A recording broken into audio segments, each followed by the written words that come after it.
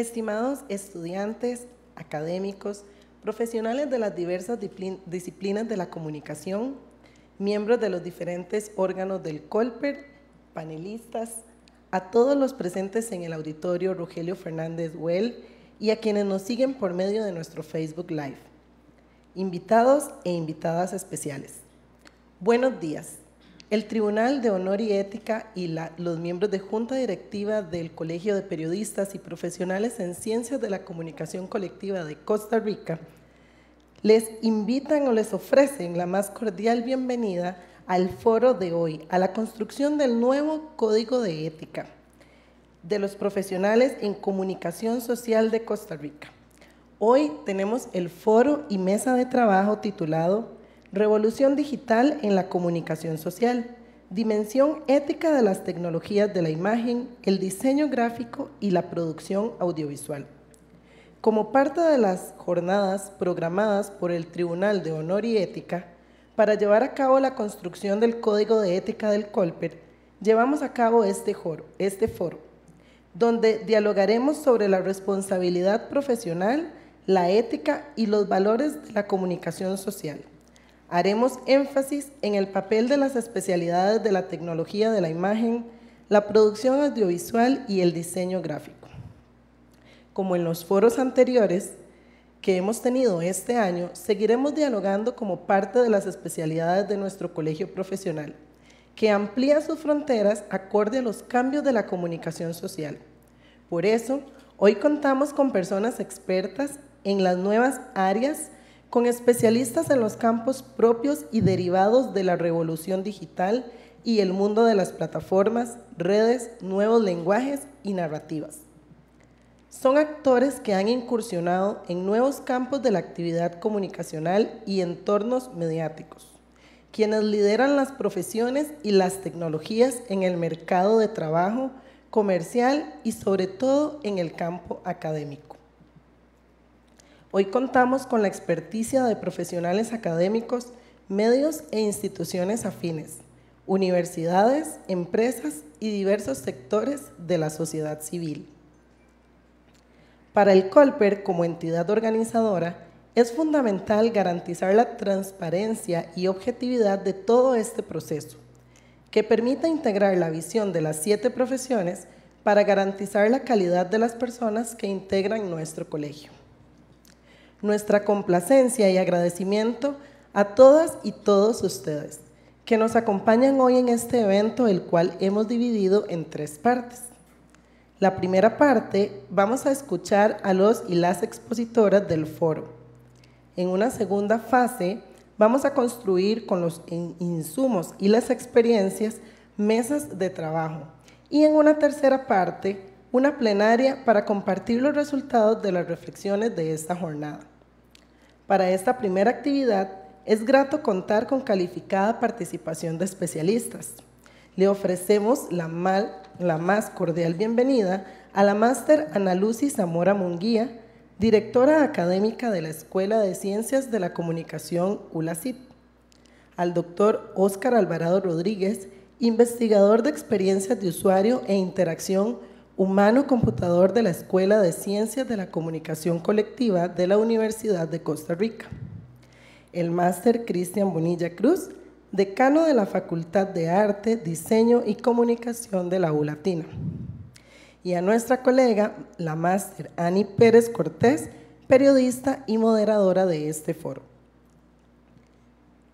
Seguidamente, les ofrecemos el mensaje de la máster auxiliadora Zúñiga Corea, vicepresidenta de la Junta Directiva del COLPER.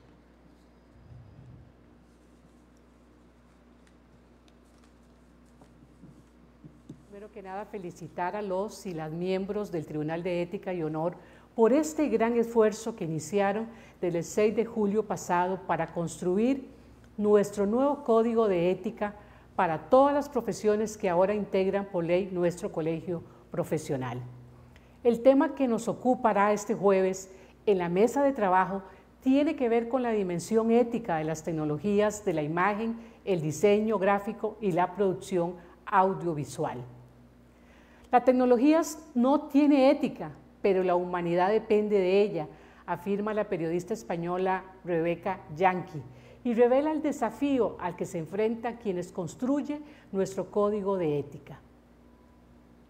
La revolución de las tecnologías ha cambiado las formas de interactuar entre las personas, ha aumentado la individualidad y ha impuesto normas de conducta que obedecen a nuevos presupuestos éticos que en algunas ocasiones pueden ser cuestionados por su falta de contenido moral. Por lo anterior significa un gran desafío la elaboración de un manual ético con el fin de utilizar de manera apropiada la tecnología. Estas nuevas reglas nos deben ayudar a progresar individualmente y en sociedad y que nos lleven hacia una sociedad con una sana convivencia donde se reconozcan los derechos inherentes a la existencia humana, como es el derecho a la vida, al trabajo, la salud física y emocional y a la privacidad. Y por supuesto a la existencia de normas éticas en el uso de la tecnología de la imagen, el diseño gráfico y la producción audiovisual. Es indispensable un equilibrio entre la ética y la revolución tecnológica con el fin de garantizar el mayor beneficio para la humanidad.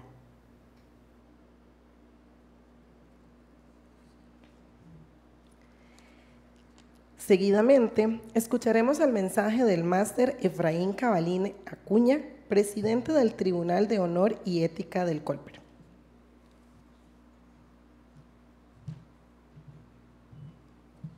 Muy buenos días. Muchísimas gracias, doña Ani Pérez, doña Lucy, don Oscar y don Cristian, por compartir con nosotros esta mañana en este tema eh, de prioridad para el colegio. Muchísimas gracias a ustedes que nos eh, acompañan aquí presencialmente y también nuestro agradecimiento a las personas que nos siguen por la transmisión en vivo de esta actividad.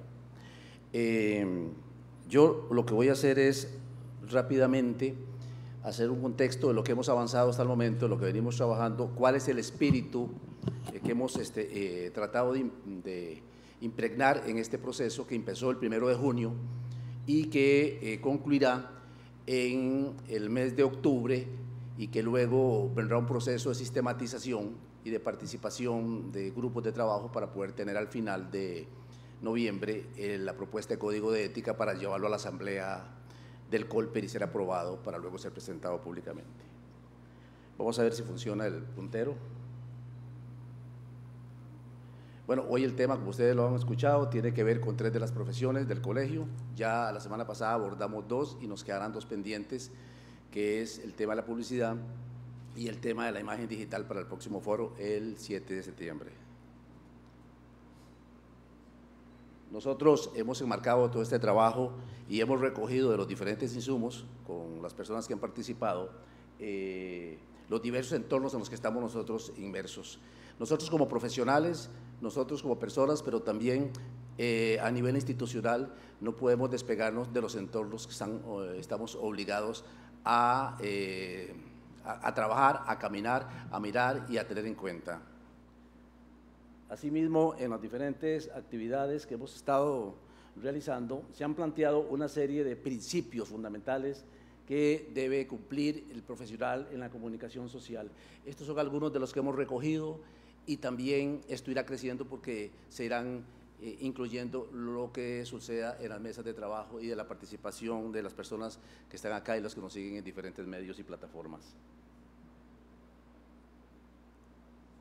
También no podemos dejar este, de lado nosotros la participación de públicos. Nosotros estamos convocando, invitando, así lo hemos venido haciendo desde la primera actividad, en la participación de profesionales de medios de comunicación, universidades, empresas, instituciones públicas, estudiantes, que nos interesan mucho sus puntos de vista para construir esto de manera colectiva, consensuada, abierta, participativa, donde la transparencia se convierte en un ente fundamental.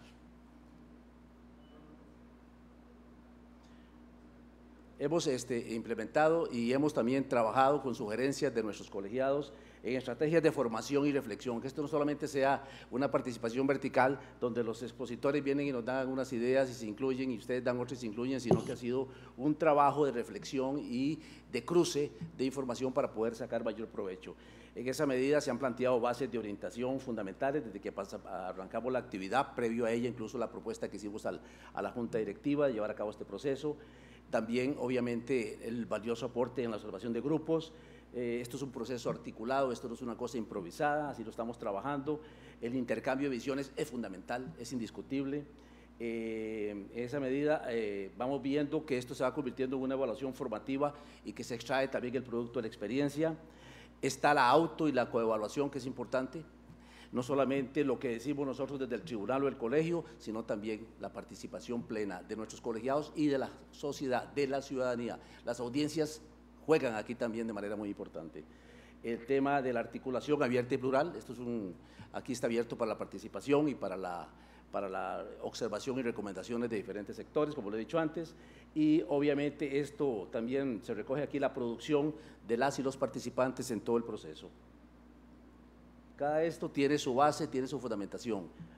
Ahora, este, nosotros hemos visto la importancia que tiene compartir, discutir y plantear eh, competencias integradoras, que así le llamamos, que tiene que ver con el tema de los valores, los factores positivos, negativos, el tema de la responsabilidad, los nuevos escenarios en los que estamos, las ventajas, el tema de las libertades y derechos establecidos, también asuntos de carácter jurídico, que es importante tener en cuenta y las referencias a eso para poder hacer que este código ética para las siete profesiones tenga un sentido importante. No solamente que se convierta en un elemento escrito, no buscamos aquí que sea un documento castigador, no, es un documento, una guía ontológica, pedagógica, para que sirva de guía a nuestros colegiados.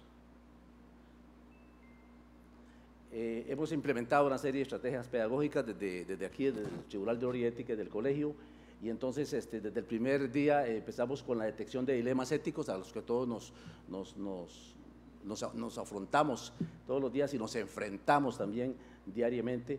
Hemos desarrollado matrices de trabajo que las hemos puesto en práctica y de ahí estamos recogiendo información importante. Se han planteado estudios de casos para poder analizar la realidad, la experiencia vivida de parte de los, de los eh, profesionales y las profesionales. El trabajo en grupos para nosotros es fundamental. La construcción colaborativa, indiscutible. Eh, el tema de las normativas, las referencias que hay, este, el código ética vigente y otras eh, a nivel nacional e internacional. Y obviamente recoger, como decía ahora, de, de las mesas de trabajo, el trabajo de eh, lo que se exponga. Pero también esto luego va a llevar un proceso donde los coordinadores de las diferentes mesas de trabajo que han estado eh, colaborando y los que van a colaborar eh, se integran al equipo, a una comisión general, junto con el fiscal de la Junta Directiva y hacemos un trabajo de sistematización para poder nosotros tener un trabajo que podamos devolver a todos ustedes con respecto a lo que pensamos que va a ser el nuevo código de ética. Este, esto tiene que plantearse así porque no hay otra forma. Aquí nada más para decirles que eh, en las diferentes eh, mesas, eh, foros, se han planteado enfoques y perspectivas sumamente importantes, que esto va a ir creciendo en la medida que estas actividades se vayan desarrollando.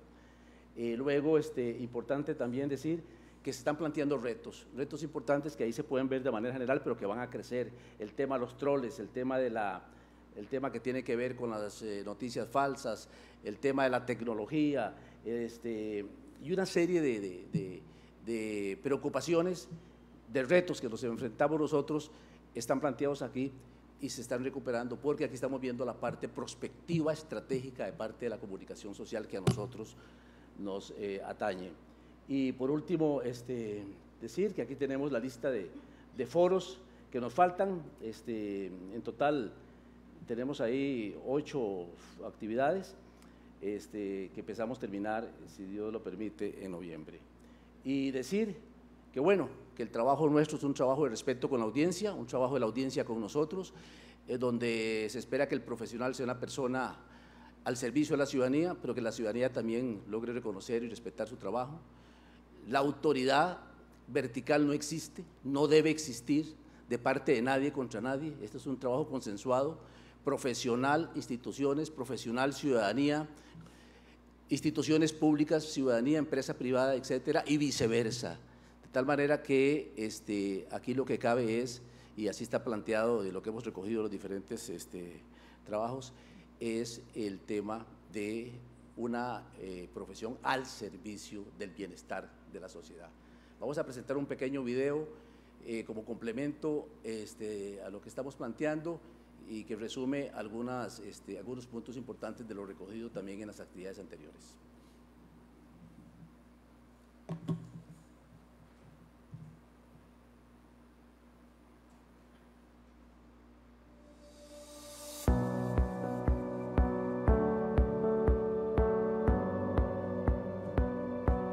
El pasado jueves 6 de julio de 2023 se efectuó en el auditorio del Colegio de Periodistas y Profesionales en Ciencias de la Comunicación Colectiva de Costa Rica el segundo foro y mesa de trabajo La perspectiva, los desafíos y el valor de la ética en el ejercicio profesional del periodismo y las relaciones públicas.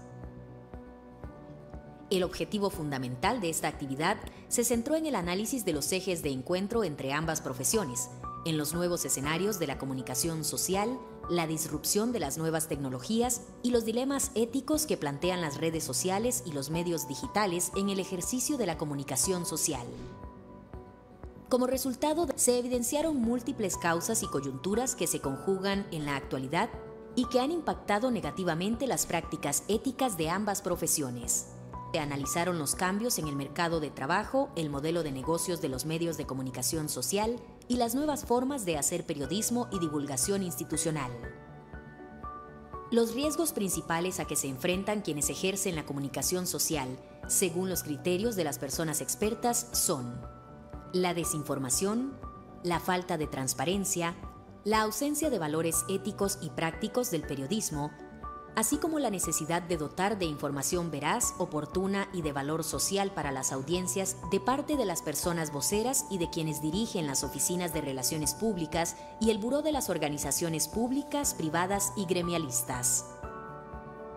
El gran reto es que se mantenga la profesionalización de los comunicadores. Eso es algo importantísimo. Lamentablemente las redes sociales son una excelente herramienta que podemos utilizar para comunicar informar a la ciudadanía, pero con profesionales, con gente que haya estudiado, que haya pasado por la universidad para entender cómo comunicar y qué comunicar. Para enriquecer estas jornadas de ética, junto a los foros, se promueven las mesas de trabajo presenciales y virtuales, que generan insumos, propuestas de cambios y recomendaciones para la elaboración de la nueva propuesta del Código de Ética de las Profesiones en Comunicación Social. Uno de los temas que se han tratado en las mesas de trabajo es la posición que ocupa la mujer en los campos de la comunicación social. Y con respecto a aquellas notas informativas en las cuales se minimiza y se utiliza lenguaje soez hacia la mujer, debe determinar. Porque lo que debe de privar es la ética y los valores fundamentales en todo ámbito de la sociedad. El señor Javier Darío Restrepo, periodista colombiano, escritor y experto en ética periodística, afirmaba que la mayor garantía de que un periodista es ético es que sus piezas periodísticas son de calidad. Desde luego que estamos de acuerdo con Restrepo, pero ¿qué opinan los estudiantes del área de la comunicación social al respecto? He escuchado muchas veces que el periodismo está enfermo, entonces nosotros como futuras generaciones, incluso yo diría como generaciones actuales, tenemos que acabar con, con, esa enfermedad y tenemos que hacer que el periodismo como tal mejore, la comunicación como tal mejore, y no solo en el área del periodismo, también en las relaciones públicas, en la publicidad, en qué es el mensaje que se da, cuál es el mensaje que se recibe y cuál es la intención con la que se hacen esos mensajes y de parte de quién. Yo creo que mi mayor preocupación como futura periodista es que nos van a censurar, puede ser en algún momento de que nos censuren nuestra voz, de que por temas económicos, por temas políticos, seamos nosotros los ciudadanos los que nos veamos afectados. Recordar que nosotros trabajamos y nos dedicamos, somos de la gente, entonces no tenemos que olvidar esos ideales y son importantes para nosotros poder ejercer una buena profesión. Entonces hay que buscar como un punto medio donde estemos dando información veraz, real, y eh, bueno, informar a, los, a la población costarricense que es nuestro primer objetivo. Como respuesta a estas necesidades y cambios en el entorno, el Tribunal de Honor y Ética continúa con el proceso de diálogo e intercambio de experiencias y conocimientos para modernizar el código de ética y ponerlo al día con las tendencias, las nuevas profesiones y desafíos. Este seguirá siendo un espacio abierto y plural para la construcción de las reglas de oro de una comunicación social ética.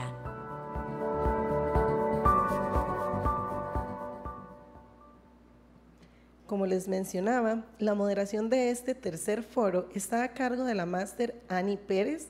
Ella es coordinadora del énfasis de periodismo de la Escuela de Ciencias de la Comunicación Colectiva de la Universidad de Costa Rica y además ostenta el Premio Nacional de Periodismo Pío Víquez y Premio Nacional Ángela Acuña Brown de 1993. Les dejo en muy buenas manos. Muchas gracias, eh, seré su anfitriona esta mañana y después de esta amplia explicación del Tribunal de Ética, ah, entramos de una vez en materia con nuestras tres voces expertas. Permítame presentarles a la colega Ana Lucía Zamora Munguía. Ella es publicista y administradora de, empresas por la Universidad de Costa Rica. Tiene también un máster de Trade Marketing de la Universidad Complutense de Madrid. Se ha dedicado a la docencia los últimos 28 años y actualmente se desempeña como directora académica de la Escuela de Comunicación de la Universidad Latinoamericana de Ciencias y Tecnología, ULACIT. Nos acompaña también Óscar Alvarado Rodríguez, productor audiovisual por la Universidad de Costa Rica, ingeniero de sistemas por la Universidad Nacional, máster en interacción humano-computador de la Universidad Uppsala en, Suecia y doctor en ciencias de la, de la Ingeniería Universidad Católica de Lovaina. Es docente e investigador de la Escuela de Comunicación Colectiva de la Universidad de Costa Rica. Y también nos acompaña eh, Cristian Bonilla Cruz, productor audiovisual y periodista por la UCR y máster en comunicación y mercadeo por la Universidad Latina de Costa Rica. Actualmente es el decano de la Facultad de Artes, Diseño y Comunicación Colectiva de la Universidad Latina y lidera también la experiencia del Observatorio de la Opinión Pública y Redes de la U Latina. La dinámica que vamos a desarrollar esta mañana es la siguiente. Cada persona expositora hará su exposición que han preparado desde antes y usarán unos 5 o 10 minutos para máximo para eh, compartirla. Luego quisiéramos alimentar la reflexión con una pregunta que cada persona hará a alguna otra persona eh, expositora para que profundice o amplíe con ejemplos algún tema de su exposición y luego yo tendré una pregunta para cada persona expositora. Este foro no va a tener preguntas del público porque de inmediato se va a pasar a la segunda fase, que es, que es el foro con las mesas de trabajo. Así es que empezamos con eh, doña Lucy Zamora. Por favor, si nos pueden poner a correr la presentación. Buenos días.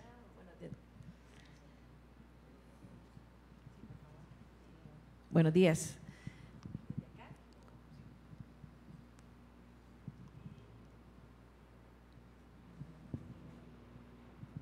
Muy buenos días a todos y todas en, esta, en este espacio para reflexionar acerca de lo que nos conlleva la revolución digital en la comunicación.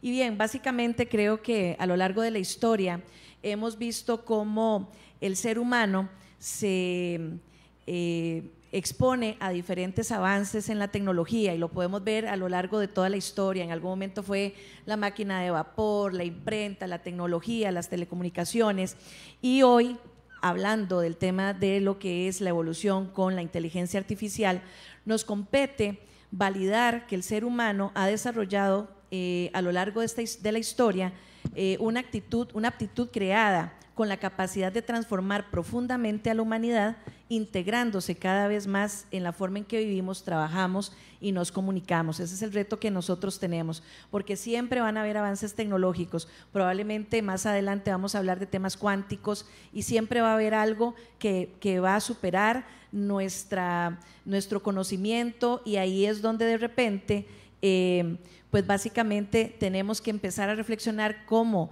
eh, seres humanos, nosotros de manera ética y responsable vamos a hacer uso de esa tecnología.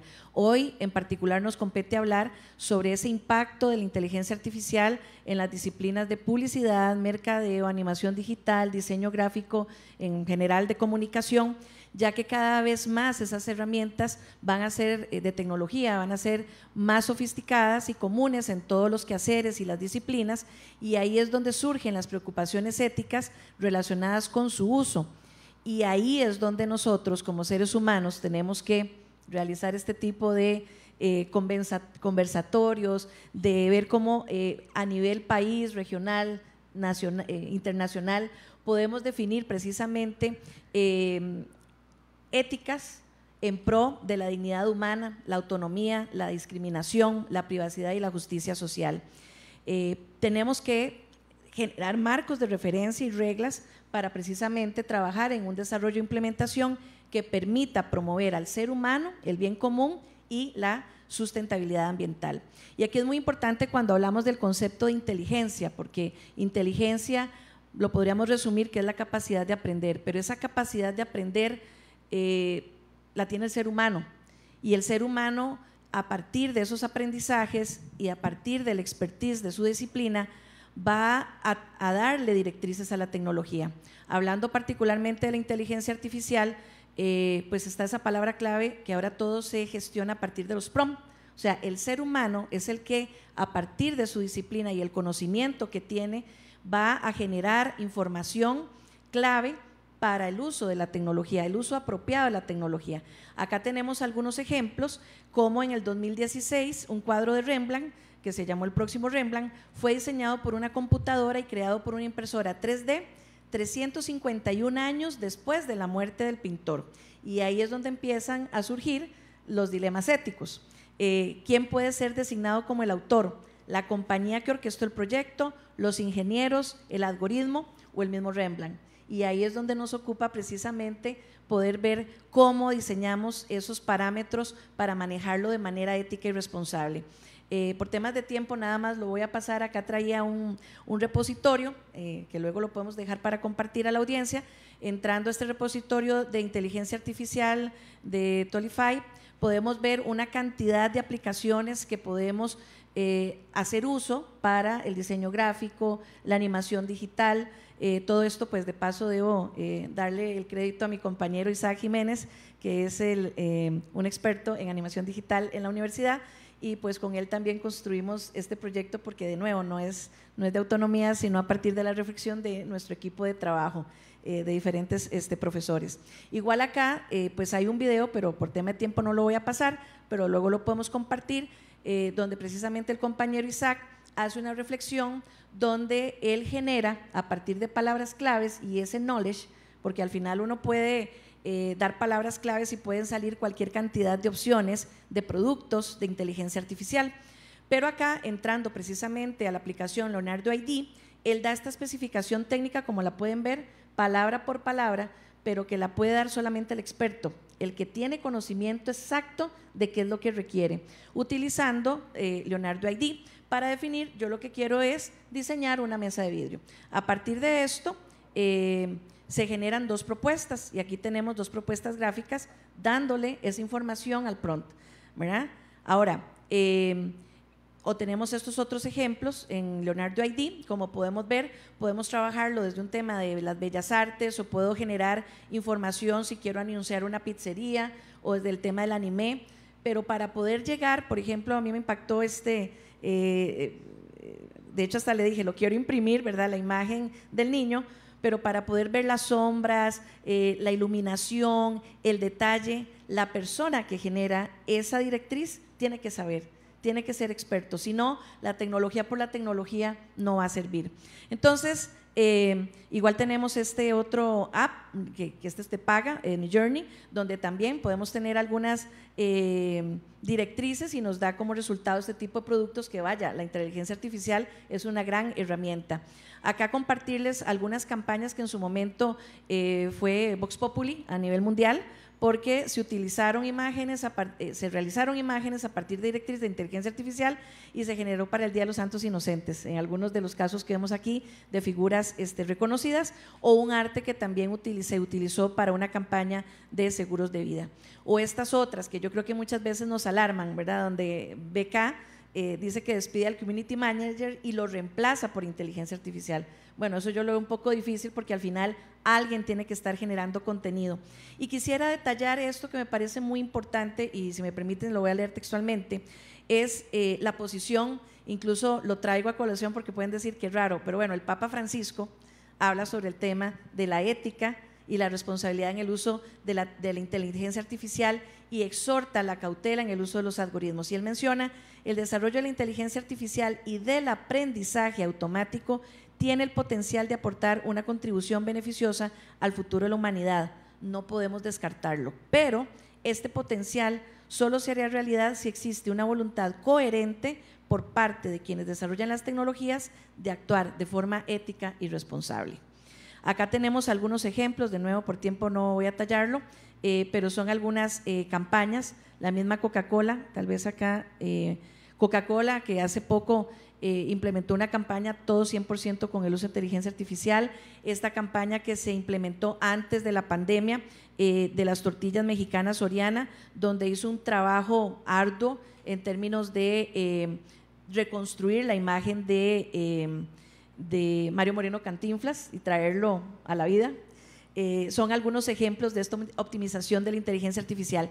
Y hoy les quiero compartir, y si me permiten, quiero eh, proyectar este video, porque ahorita está corriendo, que además, eh, muy orgullosamente, una campaña nacional costarricense de Bavaria, que me parece una genialidad porque lo vamos a ver, dice Bavaria ID, o sea, Bavar IA, de ID de inteligencia artificial, está corriendo para un evento que se va a desarrollar el 18 de agosto en el Centro de Convenciones y quiero que lo veamos y le pongamos mucha atención porque me parece que la genialidad de alguna manera resume pues igual mi exposición. De hecho, la agregué hace poquito porque la vi ayer y lo quiero compartir.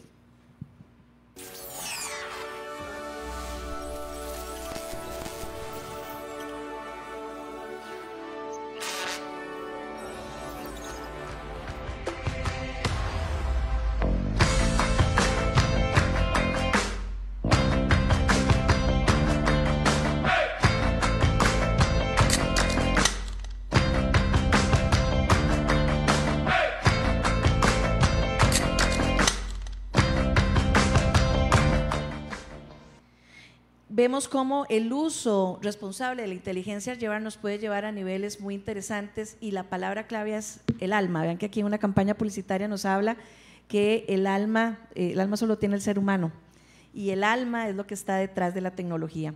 Entonces, ya para ir finalizando, eh, aplicamos nuestros conocimientos y habilidades usando herramientas que permiten mejorar nuestras aptitudes naturales, sumando una actitud donde eh, solamente podemos aplicarlo con marcos éticos.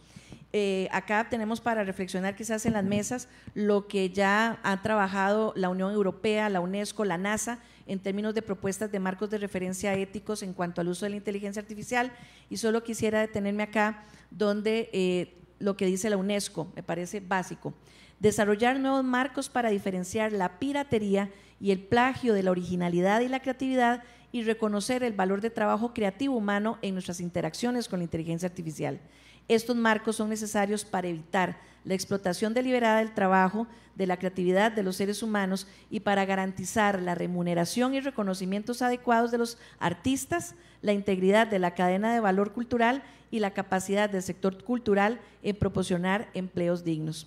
Eh, aquí una referencia de el artista Boris Hansen, eh, alemán, donde él elabora una pieza a partir del uso de la inteligencia artificial en el certamen creativo de Sony World Photography Award y al recibir el premio él lo rechaza mencionando que al utilizar inteligencia artificial no era ético y lo, y lo rechaza. Entonces, em, creo que igual imágenes donde dicen el ser humano es lo que está detrás y depende de nosotros manejarlo éticamente. Así que muchas gracias y creo que con esta imagen igual cierro donde la idea es aprovechar la tecnología, los avances, pero siempre de manera responsable y ético con quienes estamos detrás, que somos los seres humanos. Muchas gracias. Muchas gracias, eh, Lucy Zamora. Don Oscar.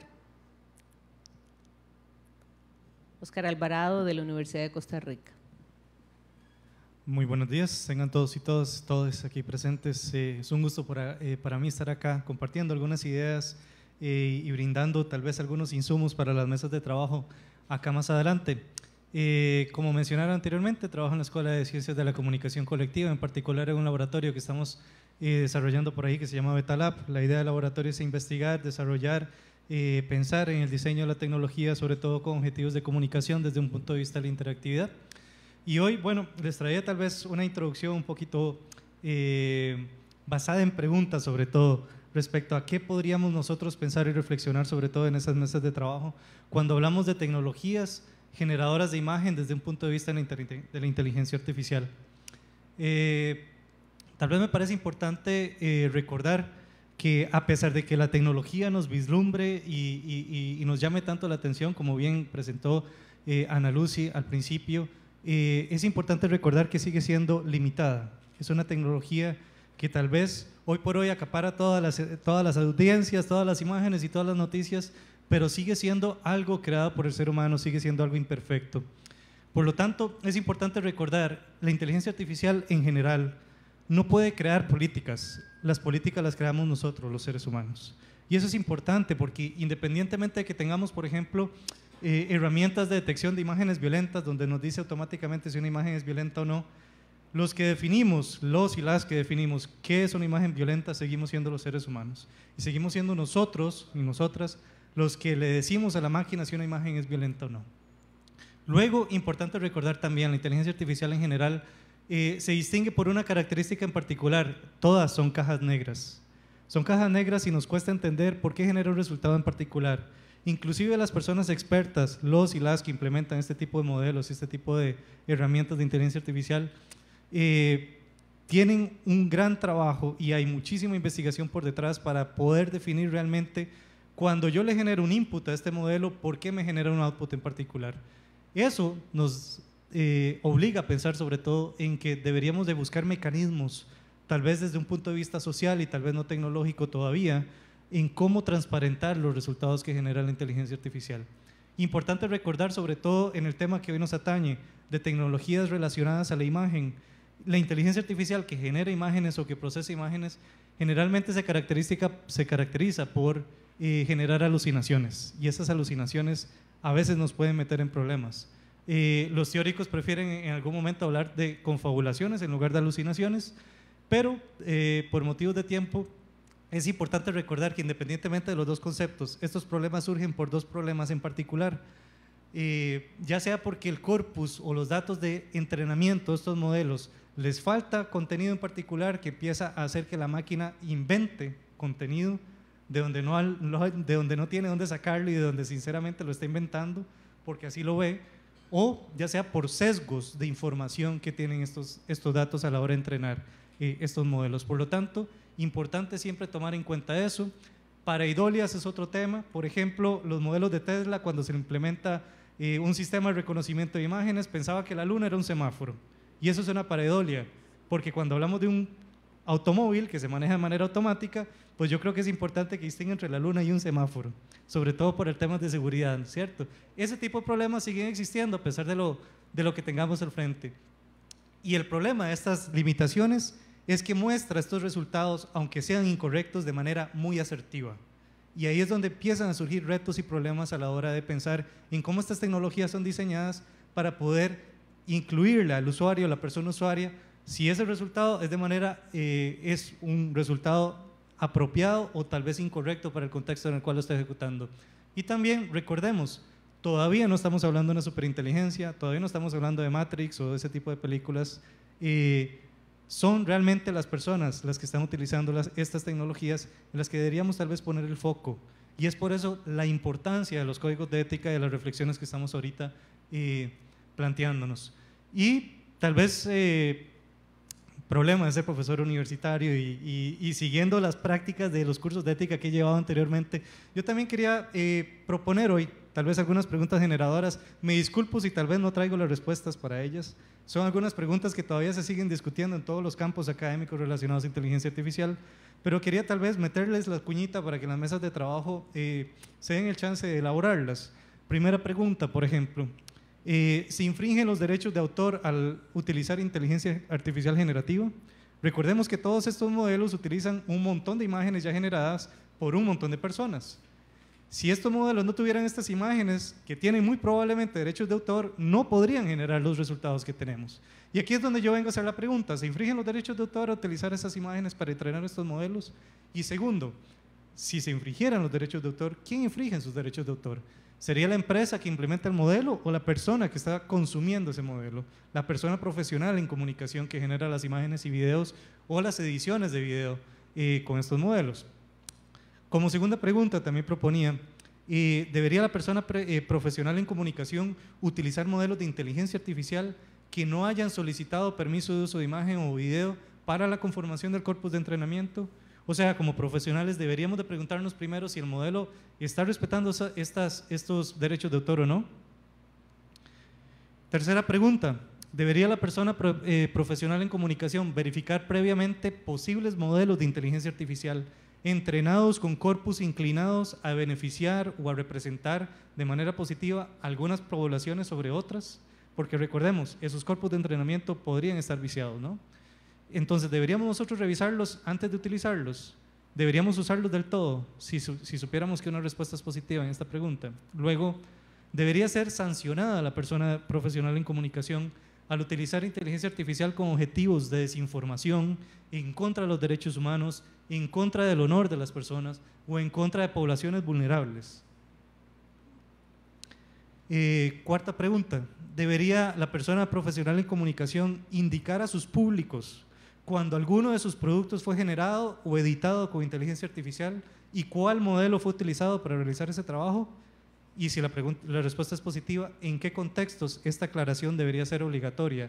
Eso sobre todo en línea con la transparencia que me refería anteriormente. y para terminar, ¿debería la persona eh, profesional en comunicación promover siempre la escrutabilidad de un modelo de inteligencia artificial cuando se implementen recomendaciones personalizadas para sus públicos. Eh, si mal no recuerdo, el año pasado tuve el chance también de compartir con el Colegio de, Periodistas una charla acerca de sistemas de recomendación. Ahorita está muy de moda hablar de inteligencia artificial generativa, pero inteligencia artificial son un montón de cosas. Y venimos implementando inteligencia artificial en nuestros medios de comunicación desde hace rato con sistemas de recomendación. Cuando ponemos esta noticia debería ser para usted. Bueno, ¿por qué esa noticia debería ser para mí en particular? ¿Cuáles son los datos que están recogiendo acerca de mí para poder recomendarme un contenido u otro? ¿Y dónde puedo yo meterme a revisar si esta información es correcta, recuerdo mis intereses como público o no? Sobre todo en línea de esa pregunta por ahí. Eh, muchas gracias y espero que, que esto genere bastante trabajo en las mesas. Sin lugar a dudas, muchas gracias Oscar Alvarado. ¿Un Cristian Bonilla? Gracias, eh, buenos días, gracias por la invitación y bueno, es muy bonito y muy emocionante además estar conversando estos temas este, después de un feriado porque lo, pone a uno de verdad a, reflexionar acerca de, de algunas de las decisiones eh, que, hay que, que hay que tomar en perspectiva.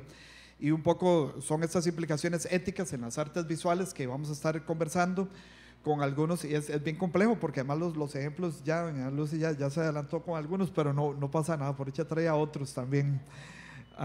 comenzando básicamente con esta imagen que ya vimos ahora. Traigo siete reflexiones y trece principios que podríamos también conversar después en las mesas de trabajo. No tienen ningún orden, básicamente es como, como, como fueron además eh, llegando. Una primera reflexión, el tema sobre todo de cuidado con la creación de contenido digital generado, modificado por algoritmos, ¿verdad? Que parecen reales, pero que eh, son creados artificialmente. Eh, este es un ejemplo del eh, actor Jim Peely que hace Dick Fake de la voz de Barack Obama y con este software, pues básicamente el, el, video que lo pueden además buscar en YouTube, básicamente no sabemos si realmente es el expresidente Obama o es, o es el actor.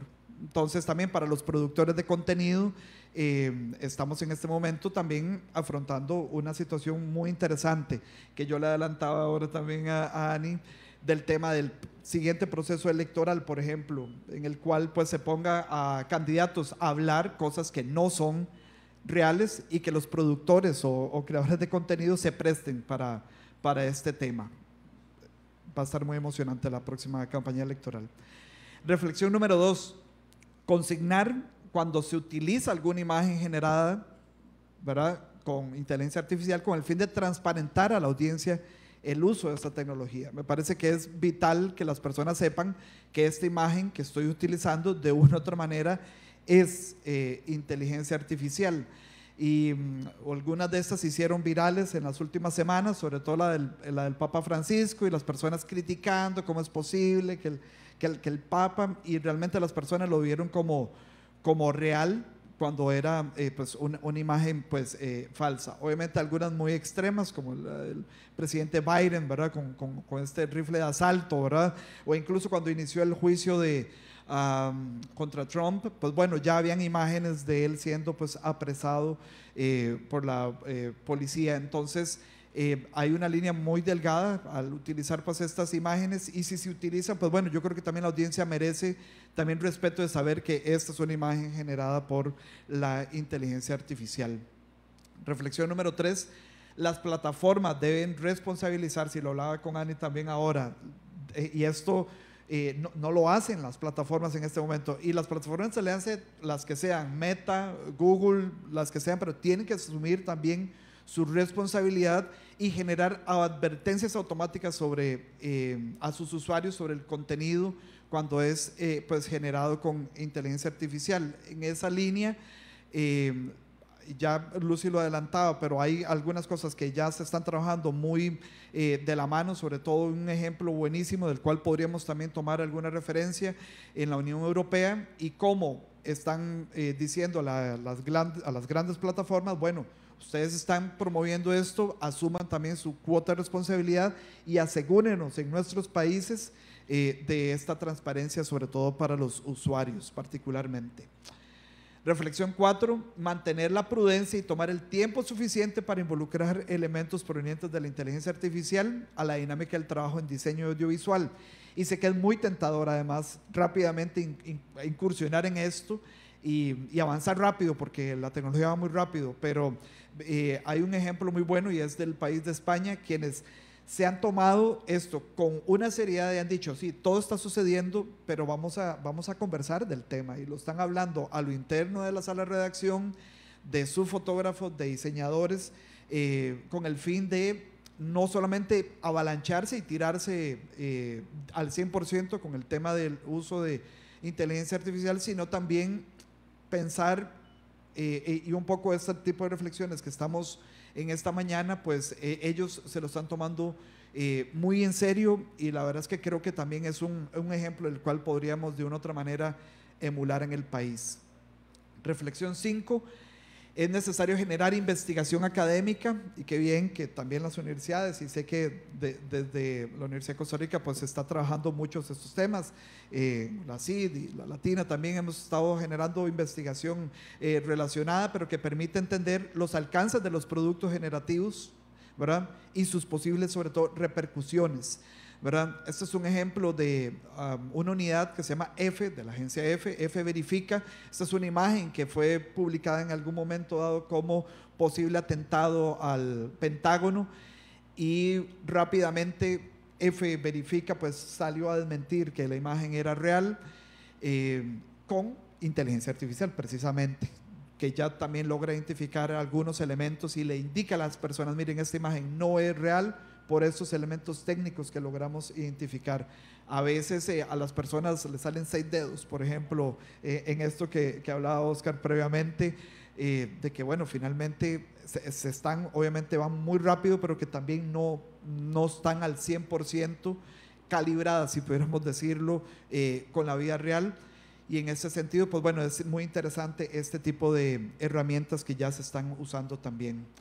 Reflexión 6, se abre una discusión legal, ya lo adelantaban también nuestras exposiciones, acerca de quién tiene los derechos de autor, uso indirecto de las obras creativas, ¿verdad? Y por lo tanto pone en riesgo la integridad de las futuras obras, ¿verdad? Eh, se habla incluso ahora de que los Beatles están a punto de sacar un éxito que quedó a mitad de grabación en los 80s y los que son fan de los Beatles van a celebrarlo, ¿verdad? Porque están recuperando con inteligencia artificial la voz ¿verdad? De, las personas que ya pues, están muertas y entonces eh, finalmente quién tiene los derechos de, de, esta canción. ¿verdad? Es Paul McCartney que, que, sigue teniendo eh, su, su, el monopolio de una otra manera también de, de las regalías y demás, o, o, hay que compartirlas, o quién es, o yo externo eh, traigo también a, a, vida presente estas voces y, y qué sucede.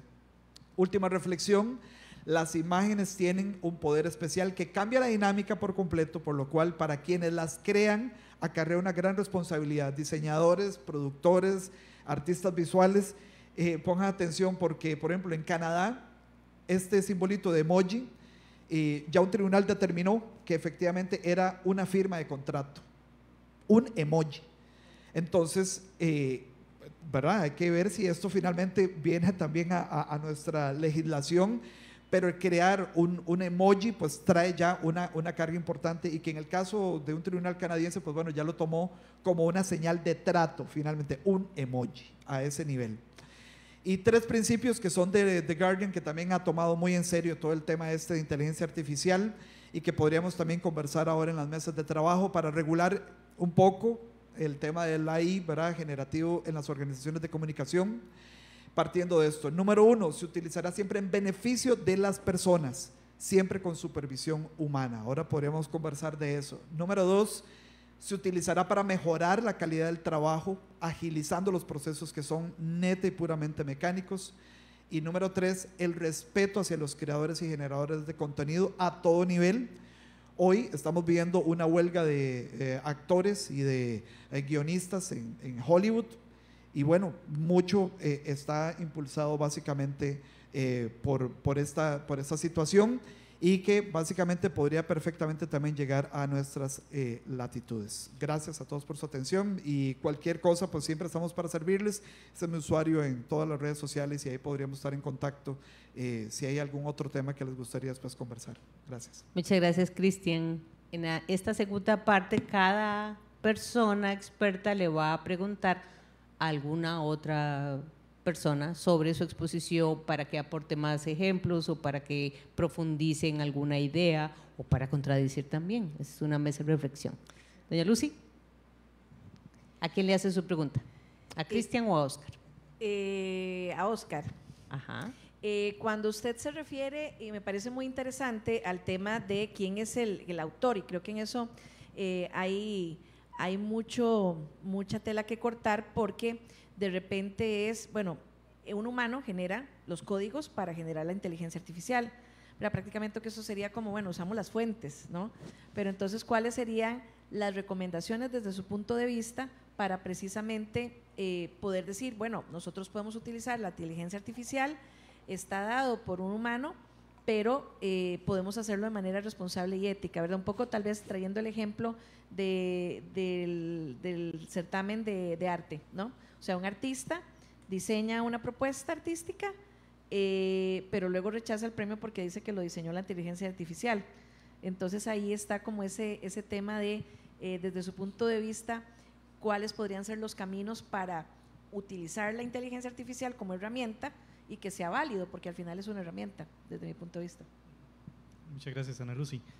Eh, qué pregunta más complicada. eh, yo creo que son preguntas que se están haciendo todas las personas alrededor del mundo. Yo me atrevería a decir lo siguiente.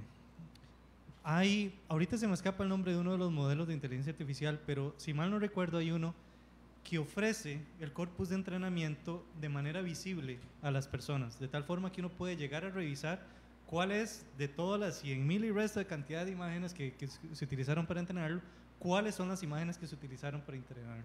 E inclusive creo que bajo ciertas condiciones le ofrece a él o al artista la posibilidad de eliminar la imagen si no quiere que se utilice dentro de su corpus de entrenamiento. Eh, a mí me parece una forma bastante interesante de abrir la tecnología, de transparentarla y volverla accesible para las personas que al fin y al cabo tuvieron un esfuerzo creativo para generar su imagen y que alimentan el producto que el modelo en algún momento está vendiendo. A mí me parece esa una forma bastante eh, interesante para poder llevarlo a cabo. Ahora bien, ¿quién es el autor entonces de, de la imagen final? Eh, yo me atrevería a decir lo siguiente. ¿Quién es el dueño, por ejemplo, de cuando se genera una noticia, buscamos algo en Google y me sale la noticia, ¿quién es al final el dueño? Eh, creo que hubo un debate en uno de los, de los tribunales europeos en los cuales le dijeron a Google de ahora en adelante, cuando una persona mediante su portal ingresa una noticia eh, y no, y perdón, y en lugar de, de ingresar a la noticia, se queda en Google leyendo la noticia sin ingresar, sin darle el clic, por lo menos al medio de comunicación, usted Google tiene que pagarle a, esa, a ese medio de comunicación particular, porque el esfuerzo económico que llevó a cabo el medio de comunicación lo está utilizando Google de manera completamente consumista, ¿no? Y cada vez lo vemos en las plataformas también.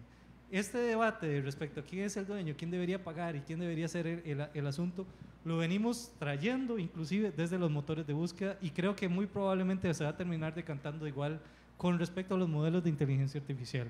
Es decir, vos estás usando mi creatividad para entrenar tu modelo, estás teniendo ingresos económicos a partir de ese modelo, ¿qué gano yo con eso? Yo creo que deberíamos empezar a pensar también en, en que todos estos artistas tal vez podrían tener algún ingreso económico a partir de ello, o bien inclusive los y las artistas tal vez podrían llegar a tener interés en que su arte se genere eh, dentro de estos modelos. Es importante tomar en cuenta lo siguiente, ya para terminar, Ani. Eh, seguimos necesitando de la creación de los seres humanos para que estos modelos funcionen de manera apropiada. Un paper reciente de la Universidad de Stanford trató de hacer que modelos de inteligencia artificial se entrenaran con eh, elementos generados por inteligencia artificial, tratando de evitar al artista y a la persona completamente. Es decir, si logramos que el modelo se entrene solo, tenemos la, eh, eh, el cáliz que todos andamos buscando. Y sucede que después de la tercera, cuarta o quinta iteración, los resultados empiezan a decrecer terriblemente. Lo, eh, la calidad de la imagen que se genera es paupérrima. Lo que quiere decir que todavía estas máquinas necesitan de la creatividad del ser humano.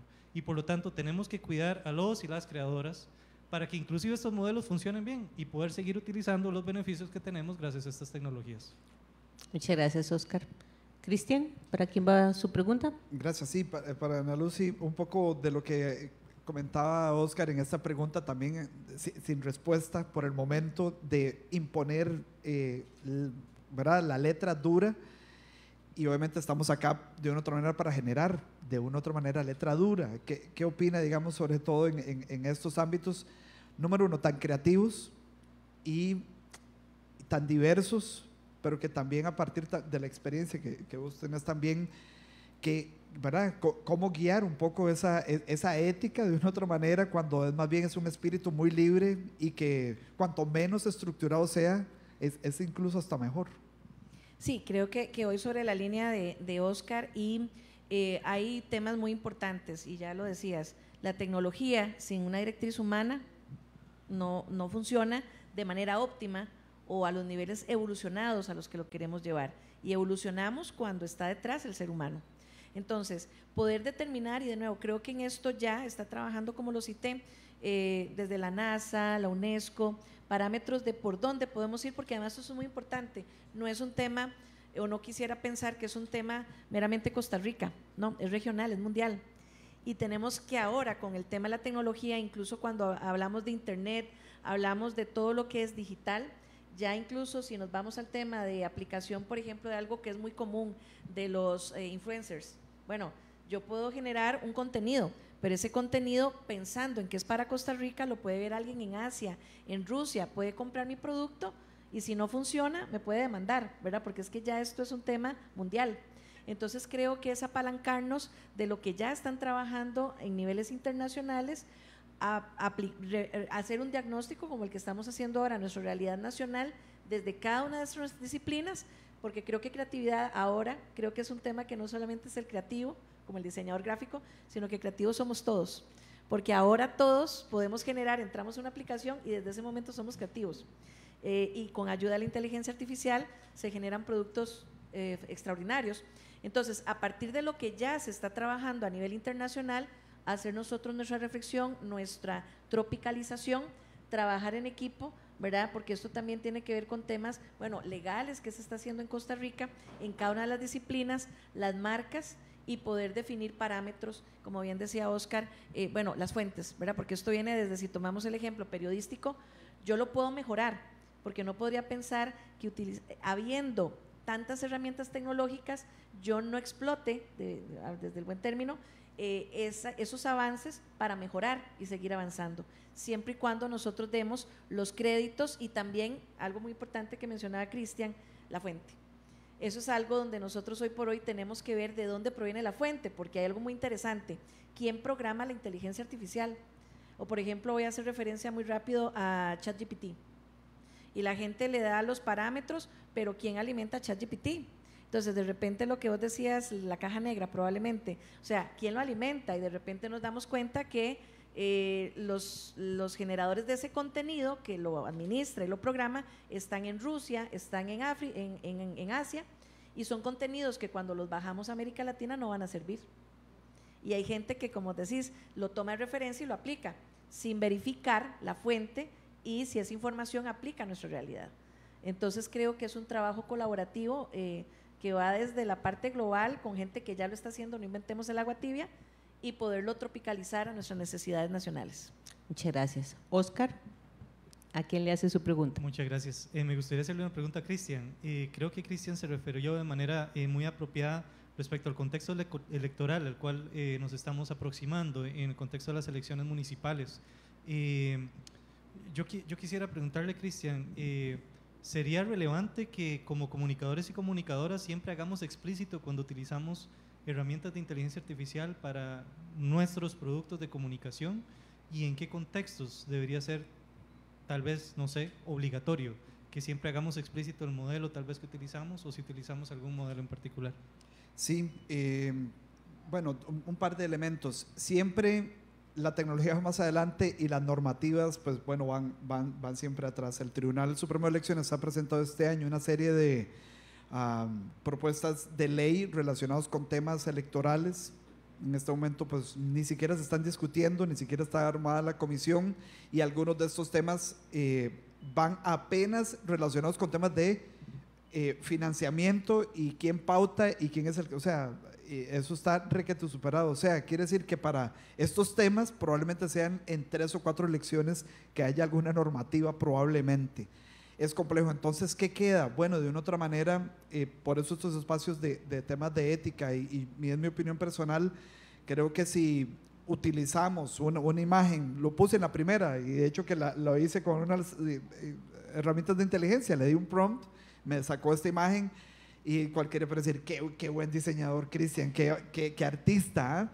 no, y mi responsabilidad es mínimo decir, no, esto, de ahí, yo lo estoy poniendo ahí, claramente yo hice el prompt, pero, pero está generado y, para temas periodísticos y sobre todo de calado eh, político, que siempre hay mucho este, que hablar y hay mucha polémica, creo que aquí los medios y los, los diseñadores pues tenemos una responsabilidad y los creadores de contenido, productores, una responsabilidad enorme poder indicarlo de esta manera. El comercial este de Coca-Cola que indicaba eh, Lucy, pueden buscarlo también en YouTube desde el inicio le advierte a las personas también de esto, esto fue generado con inteligencia artificial. Maravilloso esta propuesta ahora de la, de este, del concierto también con música, ¿verdad? Pero creo que sí hay un tema de poderle advertir a las personas de, de, lo que va a haber fue generado porque de una u otra manera pues marca la cancha y las personas pues están clarísimas de eso.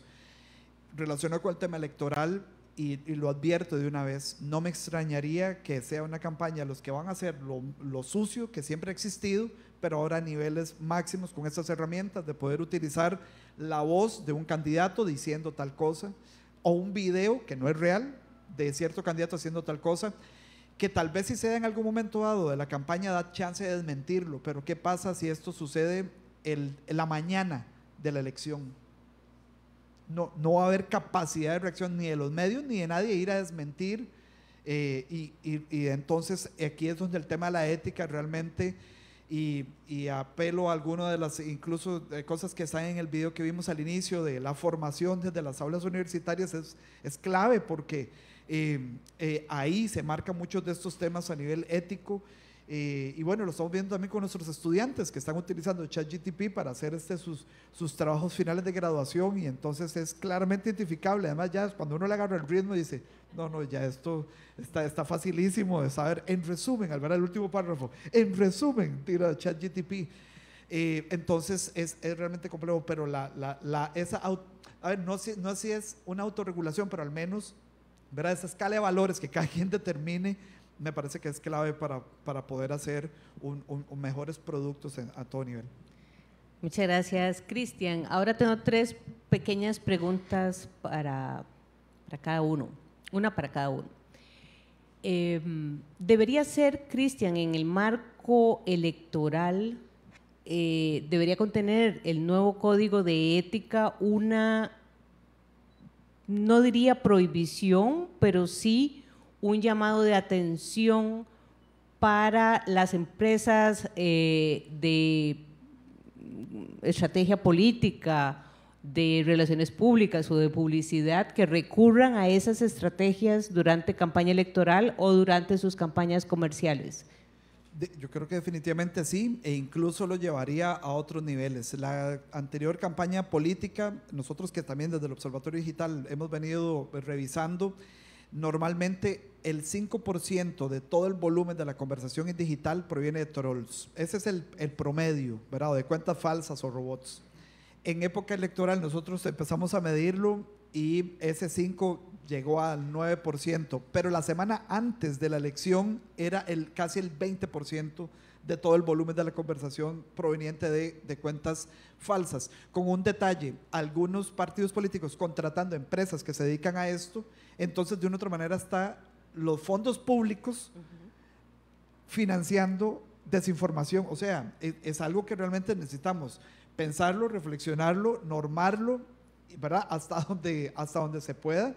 Y es, es muy complejo. Entonces, no solamente que exista una, ¿verdad? una sanción desde, desde estos órganos, ¿verdad? Y alguien sin escrúpulos dirá, me importa, pero cuando el peso de la ley cae directamente, ¿verdad? Porque eh, ya, ya implica pues otros temas, listo, ahí, ahí yo creo que las mismas personas decir, no, ya no, no me voy a meter en este terreno, porque incluso eh, las personas que estaban detrás de estas empresas decían, sí, sí, sí, nosotros fuimos contratados por un partido político y sí, eh, tuvimos este, graja de troles organizadas, orquestadas, eh, sin ningún problema de decirlo, porque en este momento la ley no, no hay ningún alcance en estos temas y sería interesante después unirnos con los colegas del, del Colegio de, de, Abogados para poder reflexionar y plantear algunos temas en, en, esta misma línea. Y en la misma línea de la influencia en la autorrepresentación de niños, niñas, adolescentes que se ha venido trabajando y estudiando profusamente desde las universidades en a partir del desarrollo y proliferación de todos los medios electrónicos, empezando por la televisión, pero luego con el arribo de las reglas de las plataformas sociales, ha quedado clara la influencia nociva de los contenidos en Instagram sobre esa autorrepresentación de niñas, niños y adolescentes. Debería en publicidad específicamente, Lucy, tener incluido el código de ética ¿cómo lo definiría? Por supuesto. Esa limitante. No, no, por supuesto. Y creo que un tema de, lo mencionábamos y ya como dice, o sea, lo que, lo que mencionaba la UNESCO, o sea, en, pro de la dignidad, en pro de los derechos humanos. Creo que hablando de inteligencia artificial hay, hay una gran contraparte que se resume en derechos humanos y hay que protegerlos. Em, de repente, no sé, a ver, de repente tenemos que evolucionar y no sé si es tan complejo o no lo que voy a decir, pero de repente yo me acuerdo que cuando éramos niños, o todavía se da, eh, en el auge de los cigarrillos y los licores, eh, está el tema de control y propaganda, ¿verdad? Que tenía que eh, tener un código. Si ese código no, o sea, si en una campaña no hay un código que permite asegurarnos que ya pasó por un proceso de regulación y de visto bueno, no puede salir al aire. Y eso se dio en la época donde el boom de los cigarrillos y los licores, ¿verdad? Igual el uso de la imagen de, de la mujer, de los niños. Lo que pasa es que ahora ha evolucionado y creo que en ese sentido sí debería existir regulaciones que nos permitan, incluso a nosotros como usuarios o consumidores, estar seguros de que lo que estamos viendo pasó por algún lado donde nos define que es, eh, es información fidedigna. No sé si me explico.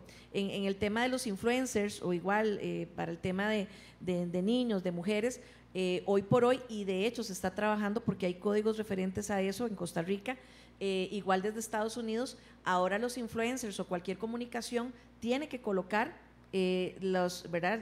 todo el tema de la definición, eh, ya sea de las regulaciones, de las aprobaciones, eh, con base en qué visto bueno se tiene, para que el usuario, el consumidor, que es algo que en general creo que en términos de comunicación nosotros debemos asegurarnos, de nuevo, la fuente. ¿Quién lo publica? ¿Dónde lo dice? ¿Es cierto? ¿Tiene alguna referencia? ¿O debería? O sea, una persona responsable y ética va a colocar siempre la fuente. Si no lo tiene, ¿verdad? El otro día tuvimos aquí un conversatorio de los trolls y de hecho yo hablaba, hablaba acerca de los trolls. Y creo que uno ya desde que ve información uno dice, mm, esto no, no, no, no, ¿verdad? Eh, no, no, no, tiene fuentes, desconocido. Eh, y entonces creo que en ese sentido es donde la regulación, y de nuevo, no solo en Costa Rica, en el mundo, tenemos que ir, lo que pasa es que vamos atrás, ¿verdad? Porque la tecnología, incluso en, en, en el tema de los prompts, lo que yo defino hoy lo puedo definir mañana y le aumento una palabra o en el chat GPT y evolucionó. Con las mismas directrices evolucionó por los recursos de la caja negra que hay. Entonces creo que hay que hacer un trabajo muy fuerte entre todos, instituciones, organizaciones, universidad, eh, para poder definir códigos o regulaciones que permitan asegurar al usuario o al consumidor de contenidos que eh, es un contenido fidedigno. Esa sería mi reflexión. Oscar, dentro de la línea de las preguntas generadoras con las que concluyó su exposición, ¿cuál recomendaría a la mesa de trabajo que sigue como la más importante?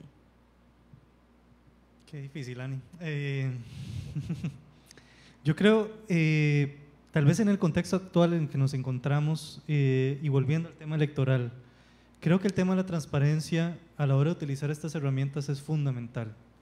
Y si yo le, si, me obliga a darle prioridad a una de ellas, creo que sería esa. Creo que deberíamos empezar a expresar explícitamente cuando utilizamos herramientas de inteligencia artificial para generar imágenes, eh, editar video, generar video, eh, para que las personas por lo menos tengan la oportunidad de estar anuentes de notar que lo que están consumiendo es algo generado artificialmente.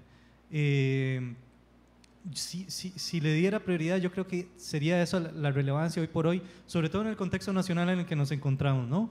Eh, es importante informar a las personas cuando estamos tal vez exponiéndolas a contenido artificial para apoyar nuestras notas periodísticas, nuestros argumentos audiovisuales eh, y qué sé yo, eh, proponer argumentos que tal vez vayan a afectar a nuestra sociedad, a nuestras instituciones y a nuestra democracia.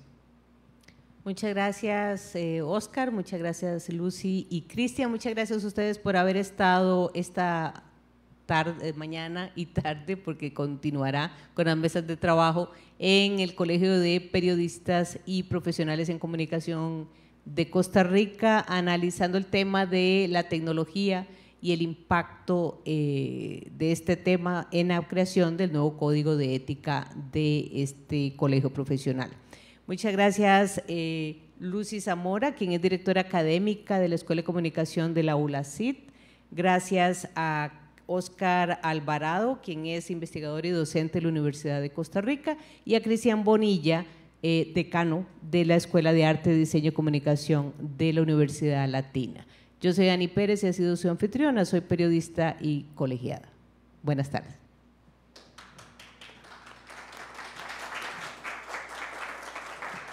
Muchísimas gracias.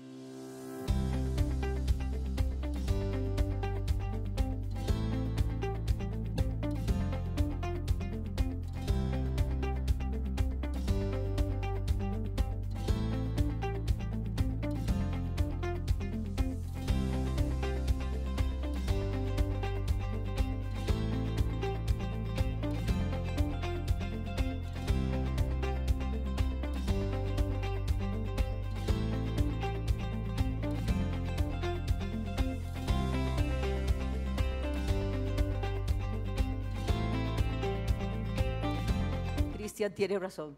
Qué refrescante tener una sesión de estas después de esos feriados tan largos y casi monotemáticos también, ¿verdad? Son fines de semana en que pues los medios se dedican a, casi a dos temas de agenda. Yo sí quisiera agradecerles de manera particular a Ani, a quien consideramos una amiga, una aliada de este colegio, eh, a Ana Lucy, a don Cristian, que le vamos a tomar la palabra también a él y a don Oscar y a Ana Lucy para estar no reiteradamente, sino creciendo en estos temas. Ahora vamos a abocarnos a tomarnos un café, que es necesario, hacer una pequeña pausa de unos 15 minutos y luego vamos a organizarnos en una o dos o las mesas que queramos para trabajar con lo que hemos llamado algunas matrices de contenido, que tal y como lo ha señalado eh, eh, Oscar, son más bien preguntas generadoras, eh, intuitivas, adelantándonos a los contenidos de ustedes mismos. Este, y dos coincidencias hermosísimas esta mañana es tener a tres académicos, pero tres personas también involucradas en el mercado, con una enorme experiencia, pero que representaban a tres universidades privadas y públicas, que están comprometidos con nosotros y comprometidos también con academia en general y con el mercado laboral y con las profesiones. A ellos nuestro mayor agradecimiento, eh, nuestra eterna gratitud, pero sobre todo por los aportes que hoy generaron esta mañana. Y que, como decíamos, la primera coincidencia es que fueran todos eh, directores de, de estas ramas nuevas. Y que en las matrices de trabajo que vamos a encontrar en un link eh, cuando, cuando, iniciamos el trabajo abajo en las mesas, de alguna manera tuvimos que adelantarnos a algunas, eh, algunos aspectos casi que redactados en forma de artículos, como lo hacían, lo hicieron los tres, y también este, me llamó la atención las preguntas generadoras de, de, de Oscar y también eh, las propuestas de Cristian, en el sentido de orientar ya casi contenidos de, un posible, de una posible normativa. A todos muy buenos días, muchísimas gracias. Y los consideramos definitivamente aliados incondicionales de todo este proceso. Muy buenos días, los esperamos abajo. Gracias. Un aplauso para nuestros colegas y presentadores.